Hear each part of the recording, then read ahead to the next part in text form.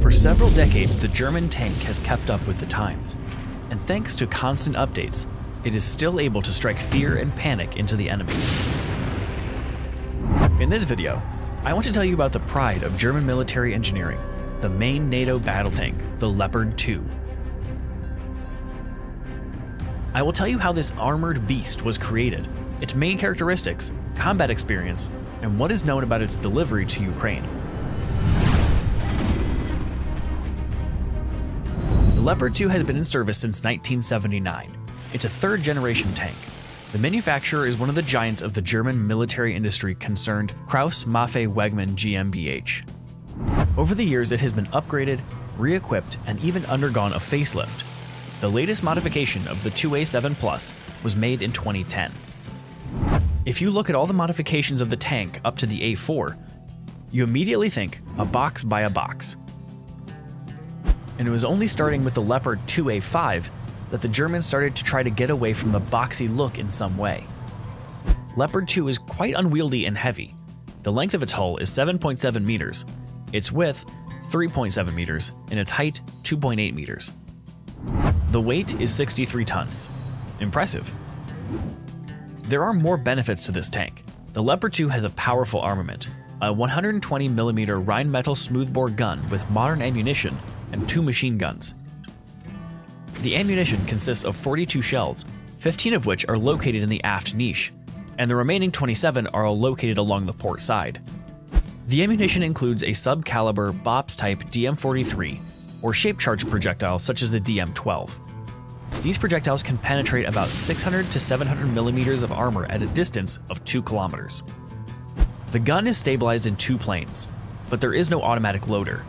Therefore, there are three men in the tank's crew compartment, commander, gunner, and loader.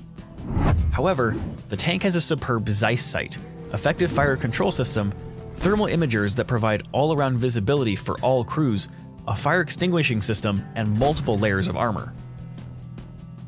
The Leopard 2 is equipped with a MTUM 873 KA 501 diesel engine with 12 cylinders and liquid cooling. It is powered by 1100 kilowatt, 1500 horsepower, allowing it to reach up to 72 kilometers per hour. The German Leopard 2 is the main battle tank in Europe, a replacement for the American Abrams, with similar characteristics but at a much lower price.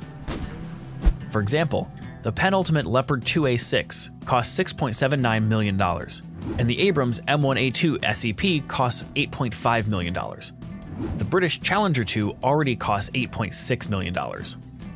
So let's talk about what is known about the delivery of these tanks to Ukraine. For a long time, there have been discussions about giving German tanks to the Ukrainian armed forces. Earlier, Olaf Scholz said that Germany does not want to allow the war to spread. The Chancellor then agreed to provide tanks to Ukraine, but only on the condition that the United States provide Abrams to the Ukrainian armed forces. On January 18th, the European Parliament called on Scholz to urgently transfer Leopard 2 tanks to Ukraine also on January 20 during Ramstein 8, failed to agree on the delivery of Leopard 2s to Ukraine. After that, memes about German Chancellor Olaf Scholz, who is blocking the provision of Leopard tanks to Ukraine, began to be actively created online.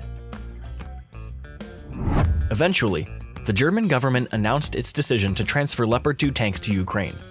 On the morning of January 25th, Olaf Scholz announced the decision to transfer 14 tanks to Ukraine. On the same day, US President Joe Biden announced the transfer of 31 M1 Abrams tanks.